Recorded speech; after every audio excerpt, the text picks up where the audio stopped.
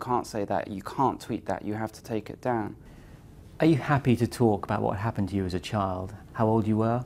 Between the ages of 6 and 10.